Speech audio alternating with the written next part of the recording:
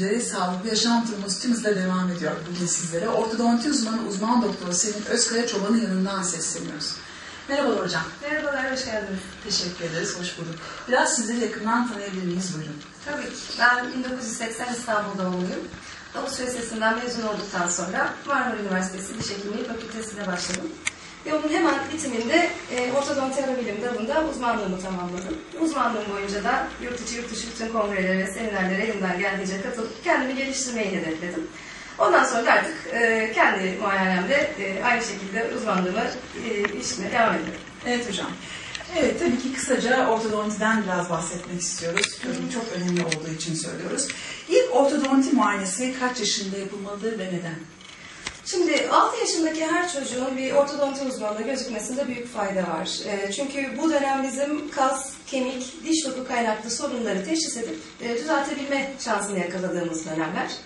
2 yaşından sonra halen devam eden aktif e, biberon ve emzik kullanımı, e, parmak emme alışkanlığının devamı ve ağız açık uyumaya sebebiyet veren ağız solunumu vakalarında bazı ortak bulgular görüyoruz. Bunlar üst çene darlığı e, ve aynı şekilde ön açık kapanış gibi ciddi sıkıntılar. Şimdi ön açık kapanış oluştuktan sonra bu sebeplerden herhangi bir tanesinden dolayı artık dil araya doğru girmekte olduğundan dolayı bir daha alt ve üst dişlerin bir araya gelmesine izin vermemektedir. Tıpkı burada e, resimde de gördüğümüz gibi. Bu tür ön açık kapanış vakaları e, bizim düzeltmekte zorlandığımız vakalar. Özellikle ilerleyen yaşlarda gördüğümüz zaman. Dolayısıyla ne kadar erken tedavi edersek o kadar kolay, başarılı, güzel ve kalıcı sonuçlar elde ediyoruz. E, bu tür durumlarda aynı şekilde bir de üst çene darlığından bahsettim. Şurada da görebileceğiniz üzere tekrar biraz çizimlerle göstereyim size.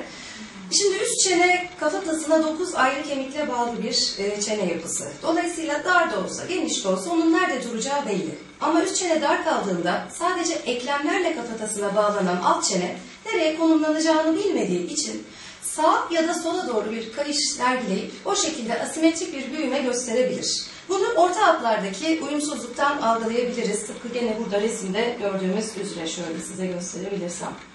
Üst çene orta hattı, alt çene orta hattı. Alt çenenin üst çenenin darlığından dolayı hafif sola doğru kemikleşerek büyümeye başlaması.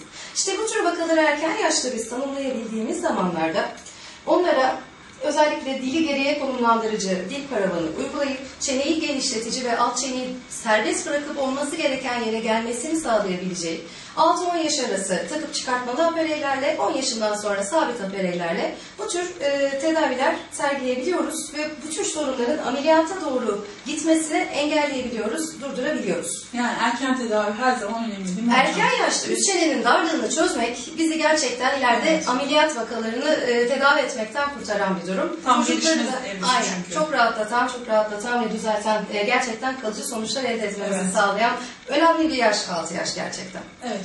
Ee, bunun dışında sadece üst çenenin darlığı değil, gene 6 ila 10 yaş arası teşhis ettiğimiz üst çenenin ileride ya da geride olması gibi bazı durumları da teşhis etmemizi ve üst çene kemiğiyle sanki bir hamurmuş gibi uygulayıp kontrol edip üst çeneyi geriye ya da ileriye almamızı sağlayacak tedaviler yaptığımız bir yaş. Çünkü üst çene 10 yaşına kadar gelişimini tamamlıyor. 10 yaşından sonra artık üst çene kemiğine çok fazla sözümüz geçmiyor.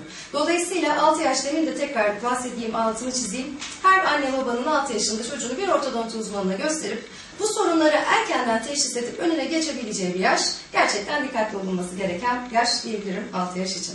Evet hocam. Peki hocam implant protez gibi sabit üniteler uygulanmasından önce neden ortodonti uzmanı danışmak gerekir?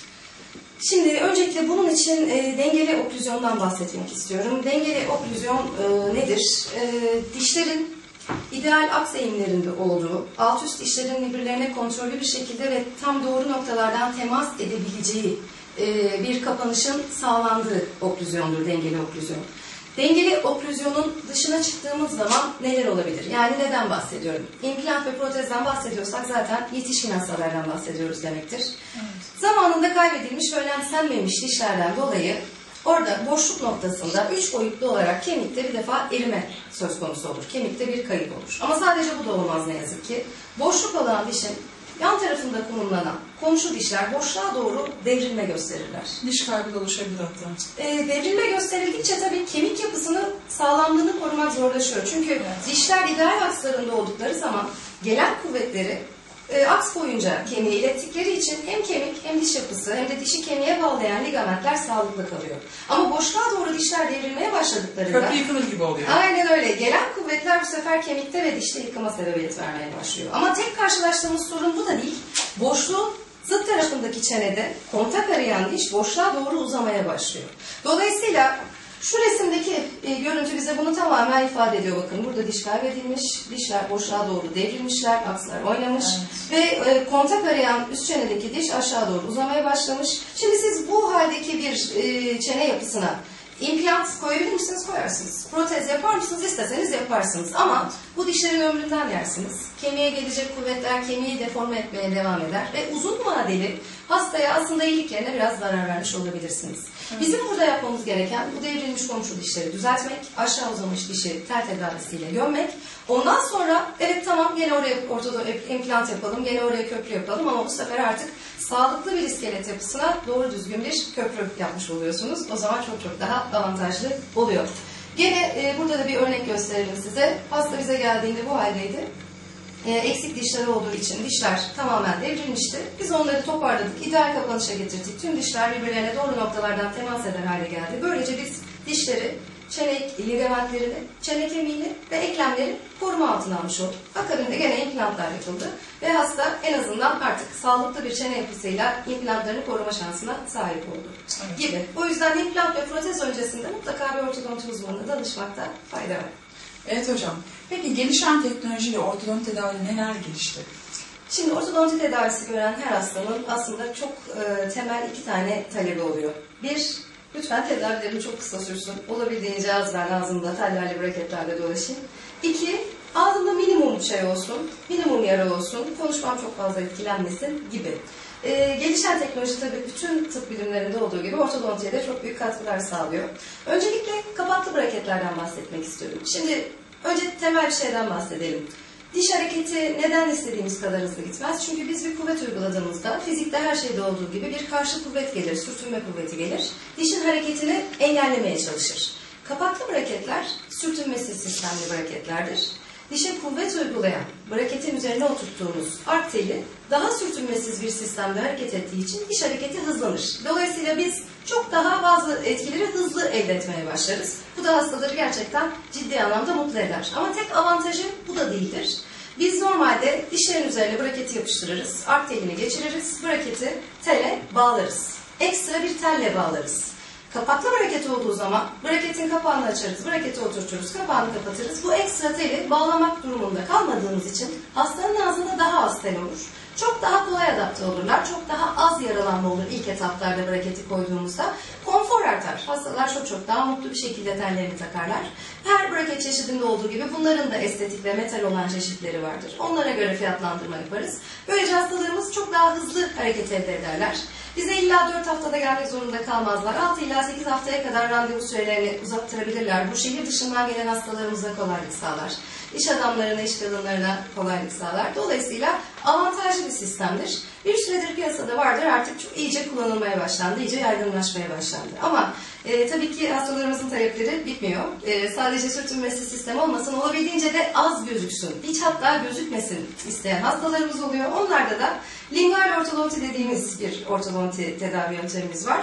Bunun iki farklı uygulaması var. Ee, Bir, e, hazır olan braketleri hastalardan ölçü aldıktan sonra laboratuvar ortamında dişlerin iç yüzeyinden yani dışta gözüken yüzeyden değil iç yüzeyinden braketleri konumlandırıp o şekilde uyguladığımız bir tedavi sistemimiz.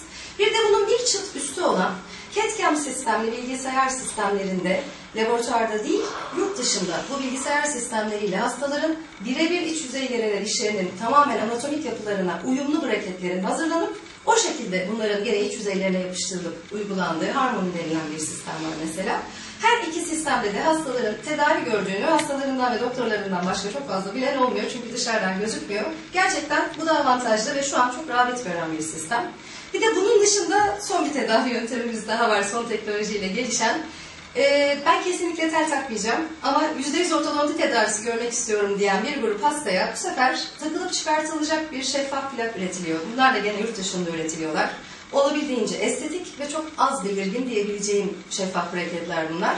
Hastalara belli zarflarda belli e, şeyleri, çipleri veriyoruz ve onlara çok doğru düzgün takılması gerektiğini anlatıyoruz. Hastanın tedavisini gene aynı şekilde 4 ila 6 haftada bir biz yönlendiriyoruz. Ama ağızda tel olmuyor. Bu tür şeffaf plaklar oluyor. Gerçekten bu da tel takmaya son derece karşı ama ortodonti tedavisi görmek isteyen hastalarımız için güzel bir seçenek haline geldi. Yani hastalarınızın isteğine ve tercihine göre her türlü diyorsunuz. Elimizden geleni yapmaya çalışıyoruz. Estetik açıdan her türlü kolaylığı ve aynı zamanda sağlık açısından her türlü kolaylığı Aynen sağlıyoruz değil mi öyle. hocam? Aynen öyle. Vermiş olduğunuz değerli bilgiler için çok teşekkür ediyoruz. Ben çok teşekkür ederim. Sağ olun.